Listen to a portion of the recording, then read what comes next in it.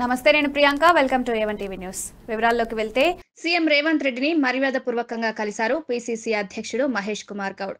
కాంగ్రెస్ పార్టీలో సీనియర్లను జూనియర్లను అందరికీ ముందుకు వెళ్తానని టీపీసీసీ అధ్యక్షుడిగా ఎన్నుకోబడ్డ ఎమ్మెల్సీ మహేష్ కుమార్ గౌడ్ అన్నారు. తెలంగాణ కాంగ్రెస్ నూతనంగా ఎన్నికైన సందర్భంగా కుటుంబ సభ్యులతో కలిసి మహేష్ కుమార్ గౌడ్ ఈరోజు మర్యాదపూర్వకంగా సీఎం రేవంత్ రెడ్డిని కలిశారు.